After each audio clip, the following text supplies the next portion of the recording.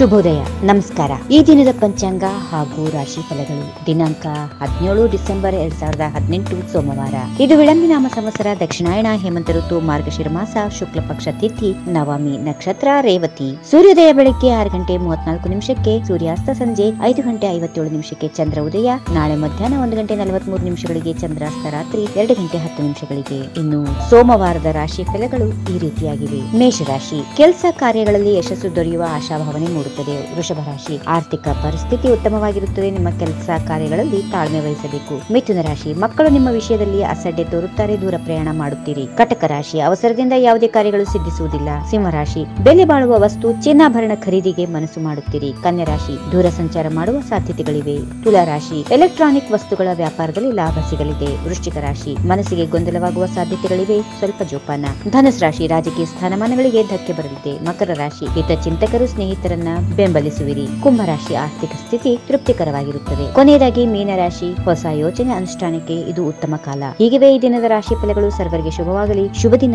ಸರ್ವೇ ಜನ ಸುಖಿನೋ ಭವಂತು. ನಮಸ್ಕಾರ.